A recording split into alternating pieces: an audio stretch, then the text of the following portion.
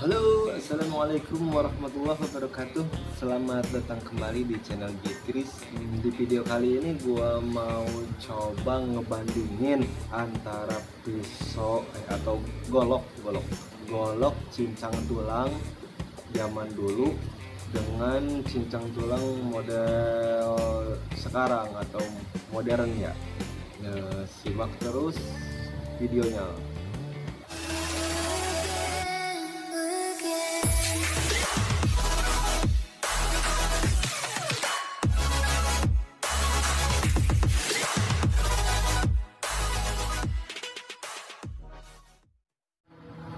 jadi kemarin gue sempat lihat di toko online ada pisau buat cincang tulang. Nah ini uh, jadi penasaran pengen jajal kuat kuatan mana sih sama golok yang buat cincang itu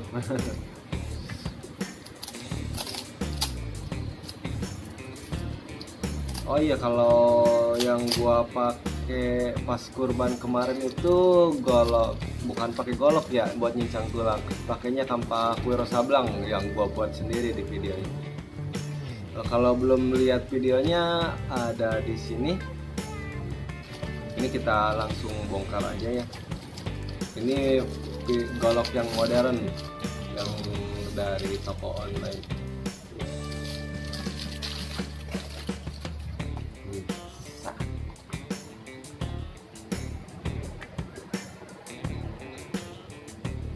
bentar dulu ya.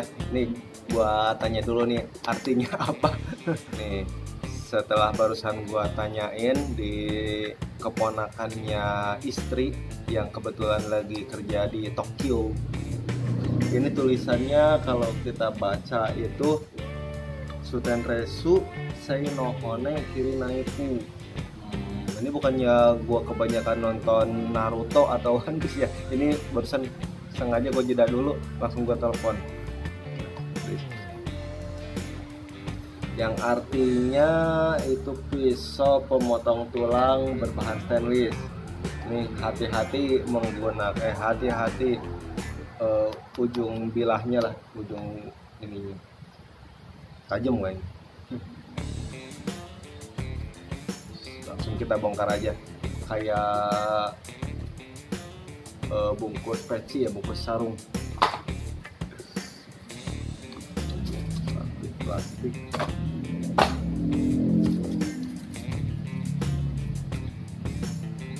Desainnya modern banget kekinian elegan.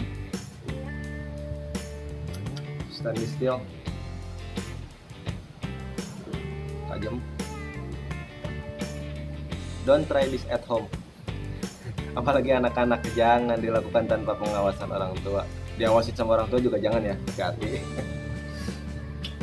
hmm, yang pengen gue bandingin bilah ini bilah ini dengan desain modern bahan stainless gagang full tang dari sini sampai sini cuma dilapin tutup stainless di kelas argon buat genggaman biar enak aja sama satu lagi golok tradisional golok cacah tulang.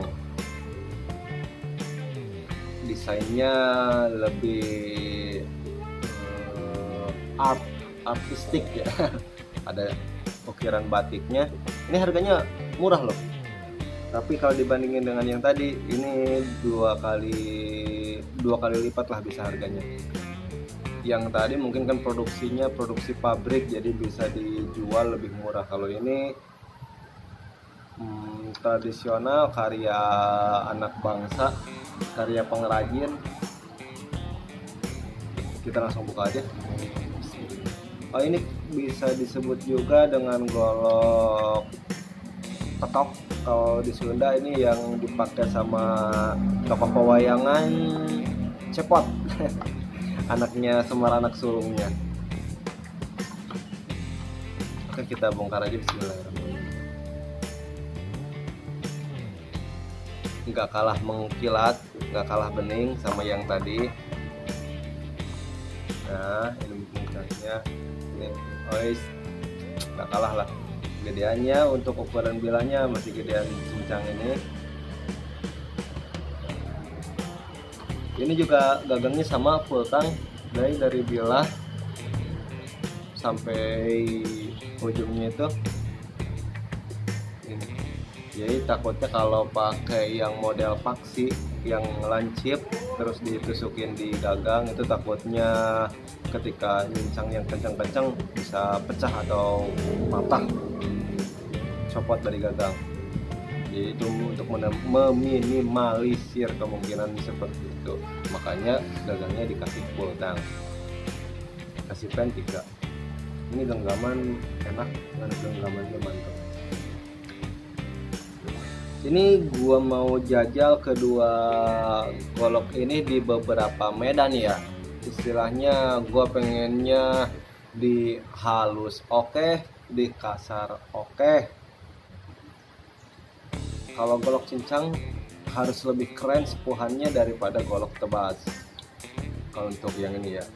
Istilahnya golok cincang mah lawannya kan tulang. Tulang-tulang semua. Oke kita mulai aja.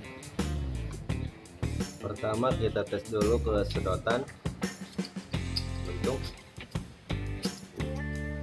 Ini membuktikan golok eh, pisaunya tajam. Kita pakai yang ini sama-sama tajam kita ke kertas.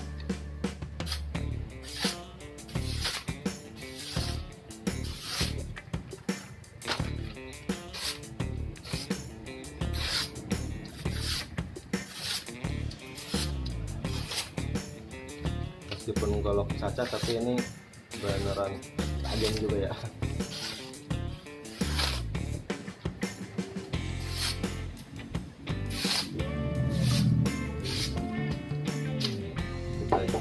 jajal yang ini.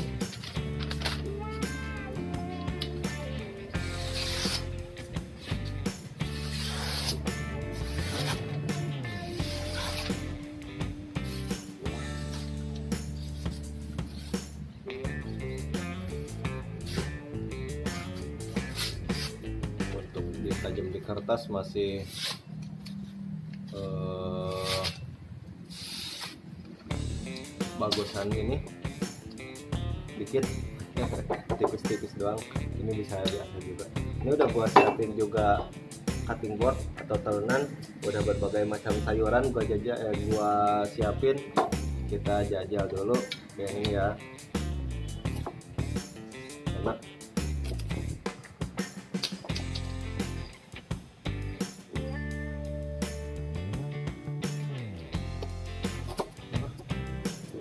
sekali potong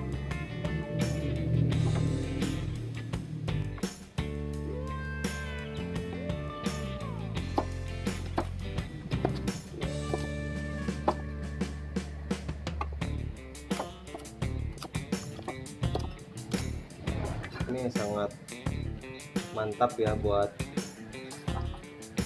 mincang sayur rajang sayur. Kita jajal dengan menggunakan golok ini buat ngebelahnya enakan yang ini.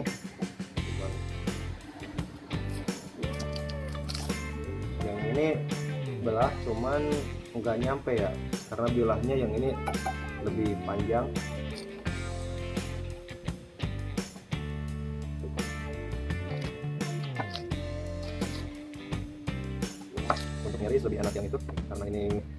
pendek ya pendek ukuran kalau tajaman untuk motong enak yang ini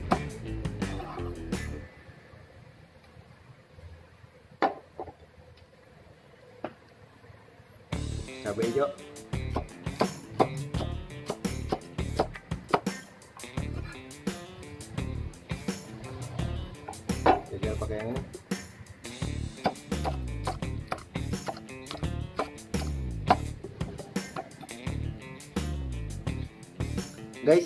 uh, ini anggap aja konten masak ya. Jadi kelar ini kelar ngetes ini bisa langsung kita buat sop. Kita jajal ke bawang. Ke bawang putih. Kita kalau kata Chef Rudi Khairuddin kita eh, rajang ya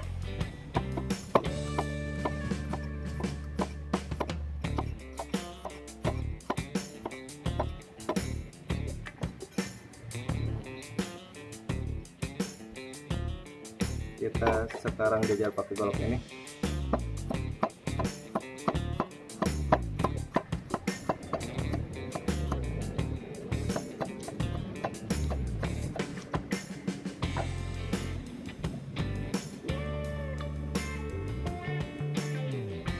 Bawang merah 2 siung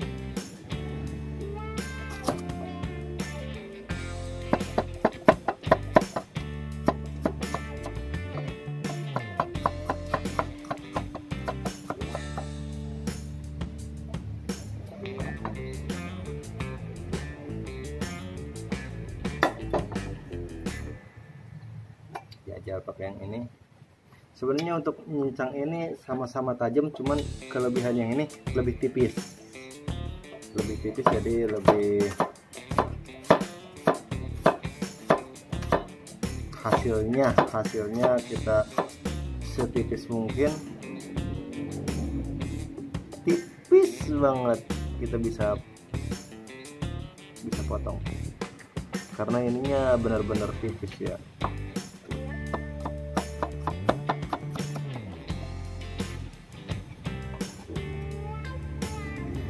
Oke, sayurnya sudah jadi, tinggal kita masak. kita sap. Selanjutnya kita ke hose selang fleksibel. Langsung diimpor dari Cina. Jajal.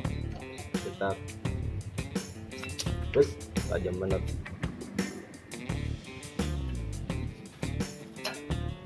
Satu lagi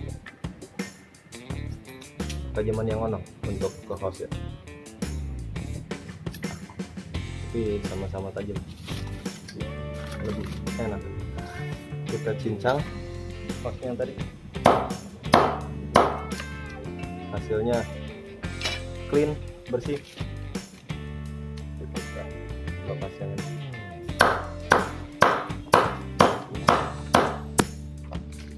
Sama. Oke. okay lanjut lagi ke uh, kabel tembaga. Kabel tembaga ini kita kupas dulu. Kita lihat. Takutnya dikata nggak ada tembaganya nggak ada isinya.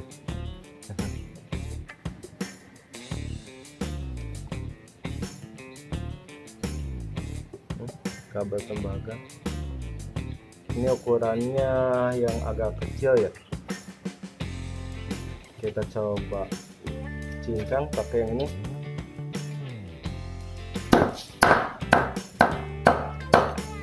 Tanpa hambatan mulus. Clean. Kalau kita jajal pakai yang ini.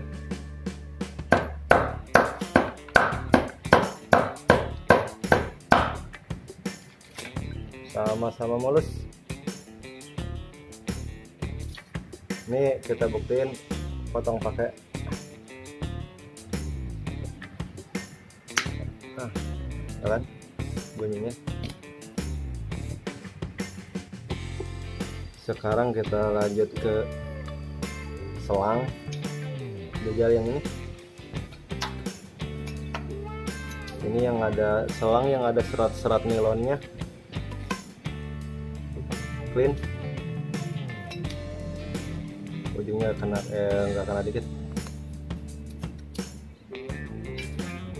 Kita jajal juga yang ini. Lebih tajam yang mana? Hmm, lebih tajam yang tadi ya untuk keselang.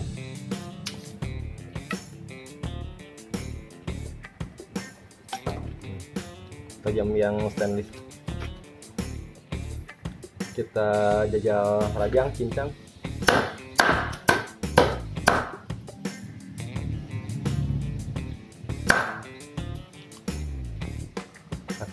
clean. Yang ini,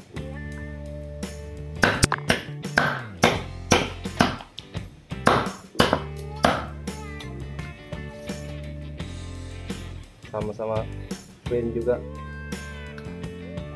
Sekarang jika tadi kita pakai tembaganya yang segede gini kita kasih yang lebih gede dengan ukuran yang keras. Ini kabel ukuran 35 mili uh, kuat sampai 450 sampai 750 volt. Kita jajal. Kita jajal dulu pakai tang. Apakah tang mampu?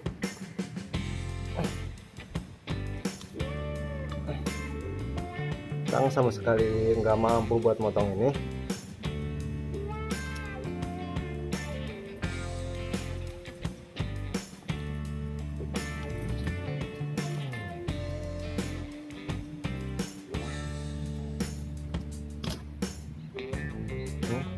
tembaganya keras-keras banget. Kalau kita jajal pakai golok.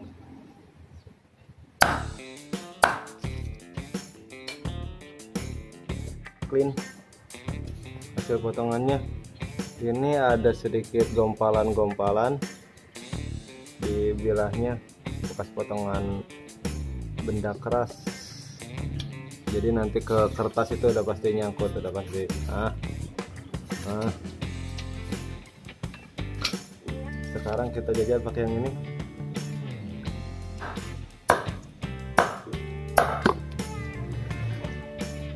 Sama clean juga. Dan kita lihat mantep. Nggak ada gompalan. Bersih. Nggak ada bekas gompalannya kita ke kertas lagi.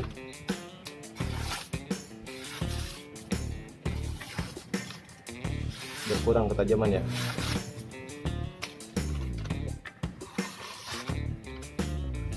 Karena habis ngehajar benda keras jadi ketajamannya berkurang. Sekarang kita lanjut ke bambu. Ini kebetulan gua habis motong-motong bambu di depan buat tiang bendera.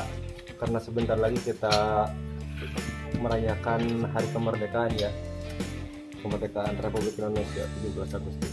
Kita coba buat potong bambu.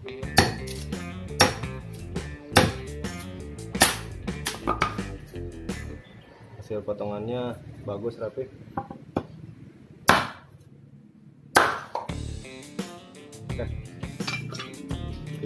coba juga pakai yang ini.